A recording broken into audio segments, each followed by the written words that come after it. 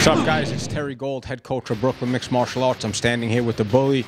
Uh, we're just preparing for Friday's night event at the Ring of Combat. It's going to be a great uh, sold-out show. You know, Pete Drago Sell is on the card, a couple other big names. It's an honor to be fighting with these guys. I would expect big things out of the Bully in the future. I can't wait for Friday. I've been training very hard for this fight. This fight means a lot to me, and I'm prepared to smash this guy.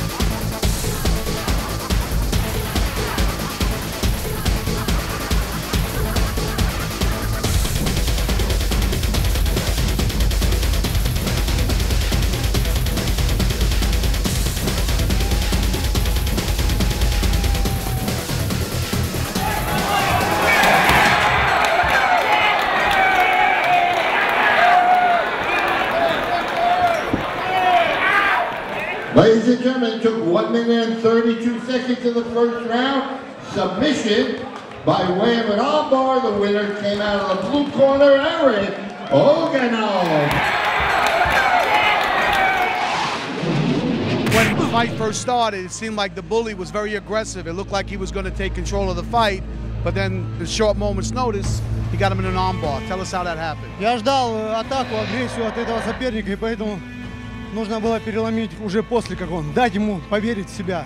He was expecting him to go like really aggressively, so this was his tactic for the fight. Once he was done and he was like really pretty positive, like he won the fight, that's everything changed basically. That was his tactic for the fight. So in other words, the aggressiveness uh, kind of put him in his own trap. He was too impulsive, the, the, uh, the bully. Ты говоришь о том, что агрессивность именно его как бы и подвела при том, как он повел. Yes. Сильная уверенность соперника. he was too like he was really he was positively sure he win the fight. Yeah. He made a mistake, in an armbar, and it was over. А то, как он, то есть он совершил ошибку, это сделал Да, я готовил этот прием, он первый раз ушел от него, но второй попался уже. Yeah, I was actually, I was actually preparing for this fight, and this is, was like actually what I was supposed to do. The first time I got him, he got away. The second time I got him in. Excellent. Thank you, guys. Thank you much. Thank you. Us. Thank you. So, Jack, you heard me uh, speak to the fighter. Uh, you, you made a comment about how that armbar actually happened. Absolutely.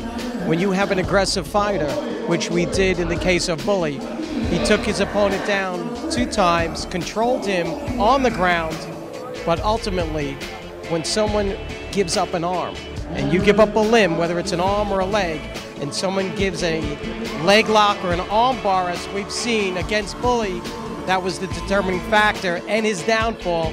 He has to be more careful, more confident, and more patient, work on his grappling.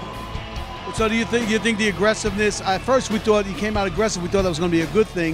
You think that worked against him? No, it was a great thing. You have to be aggressive. He did what was right. But again, a little sloppy, a little inexperienced against an experienced Russian fighter. He was waiting and ready, and he was patient, and he took his arm, locked his arm, and Bully had to tap out. All right, thanks, Jack. Appreciate it. We got excited at first. We thought you were very aggressive. You took control, two takedowns. But do you think maybe the aggression, mm, too aggressive? Maybe. What do you think, honestly? No, I don't think the aggression was too much because that was the game plan, you know. But I just got caught in that little armbar. I was trying. I was, I was backed against the cage. And I was trying to pull out, but he had it He in got tight. you. He got yeah. you. Yeah, I'll tell you because we, we thought that the way you took control right away, we thought that was going to be a plus for you. But I guess just a little mistake there in the corner. Yeah, that's my game. Always taking control. But I'll be back, you know. No, you look you look great, man. You Thank look you. great. You know, the arm bar, that's it, man. It happens, and uh, happens to everybody. Ah, you all right? You good? disappointed, I know, man. But you know, you look like you came back to really fight, man. Thank you. You know, we're all rooting for you. But next time, we'll get it going. All right, Thank you. The bully. Thanks, man. Listen, the guy had a lot of fights. He had around 40 professional fights. He um, and my guy got caught. My guy did excellent. He pressured him.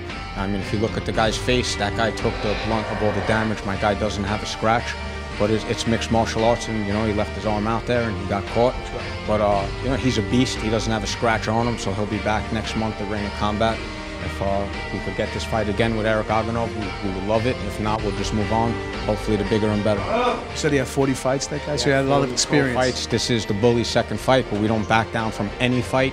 If uh, Dana White called us tomorrow and said step up to fight George St. Pierre, we would get on a plane and go wherever you know we had to. So that's the way it is. You know, we took the fight.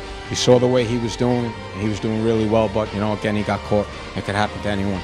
Absolutely. Well, thank you, Terry. Thank you.